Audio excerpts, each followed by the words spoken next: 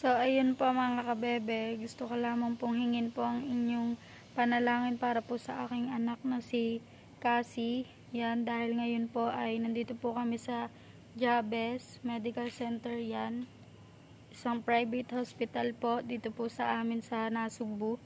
Dahil ang anak ko po ay nilagnat po kaninang umaga and ngayon pong alas 9 ng gabi ay na tumaas po yung kanyang lagnat. Nanigas po siya and namutla po ang kanyang katawan. Kaya po isinugod po siya namin dito sa private hospital po dahil para po mas maasikaso po siya and ay ano po bago po siya ipi, ipasok po sa ER ay isinwab test po muna siya. Yun dun po Swab po muna siya kasi nga po kailangan, alam naman po natin na pandemic po ngayon.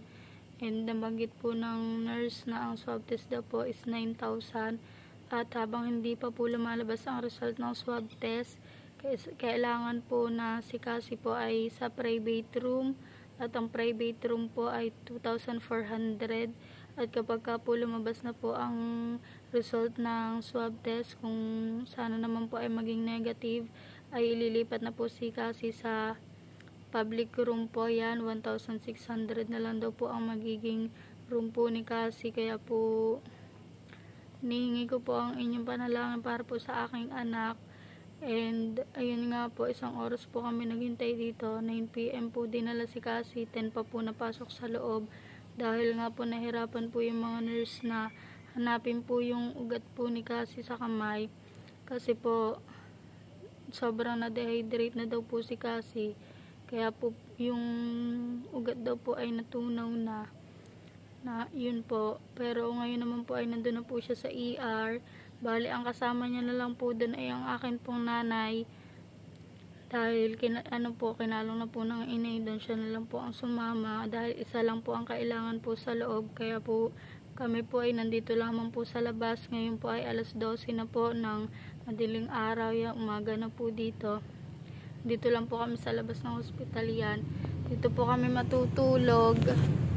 Yun po ang aking asawa. Nakahiga po sa tricycle ayan. Yan dyan na lang po kami matutulog. Dalawa magkatabi po kami. Hindi, ayaw po namin umuwi. Kasi nga po hindi po naman kami makakatulog din. Dahil po napakahirap po at saka po ang inay po ay nandun nga po sa loob. Bali tinatawagan niya na lang po kami mga update update po kung ano na pong sitwasyon po ng aking anak. Pero ngayon naman po ay okay na daw po si Cassie nakakatulog, nakatulog na naman daw po.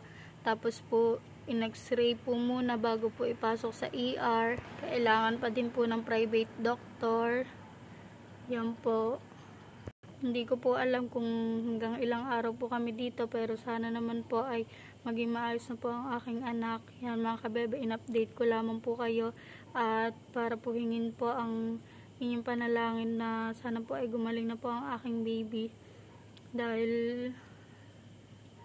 napakahirap po talaga. Yan ngayon lang po ako nag, nakapag-vlog dahil ngayon lang po kumalma ang aking pakiramdam kanina po ay kasama po ang aking mga ate dito. Marami po kami. Ngayon po ay umuwi na po sila kasi meron din naman po mga anak. Kami na nga lang po ang nandito. Ano po nandun sa loob siya na lang po ang kasama.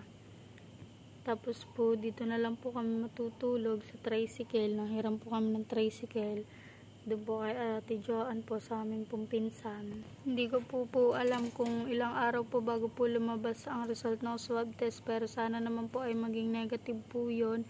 At hindi ko rin po alam kung magkano po ang aabuti ng bill namin dito. Pero wala naman po akong pakialam doon dahil ang importante po ay ang buhay po ng aking anak. Dahil minsan na po kami nadala na magdala po ng ng